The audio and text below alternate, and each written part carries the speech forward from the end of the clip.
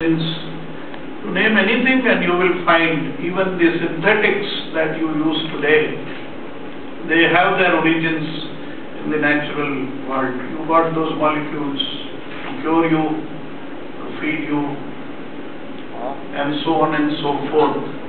But uh, rightly so, what uh, I'm not starting on a negative note, but I'm just saying what grows in your backyard perhaps has no value because it is in your backyard, you know.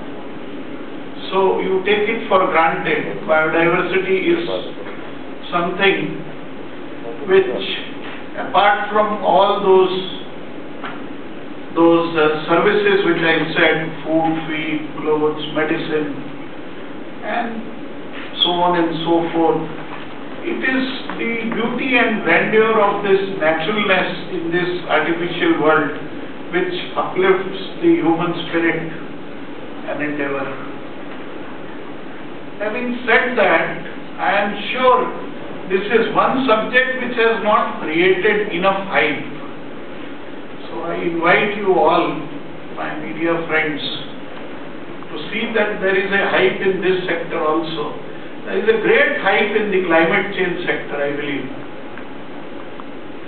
People run around to catch a small news also.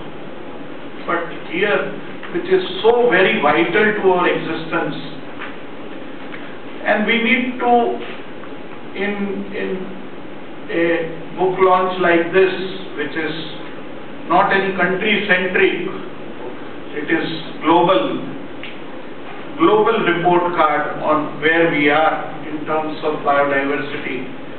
I think these kind of interactions, and I'm very happy that the launch is in an interactive mode because these are the these are the platforms on which we need to perhaps pause, ponder, and also introspect what has gone wrong that we don't take it so seriously.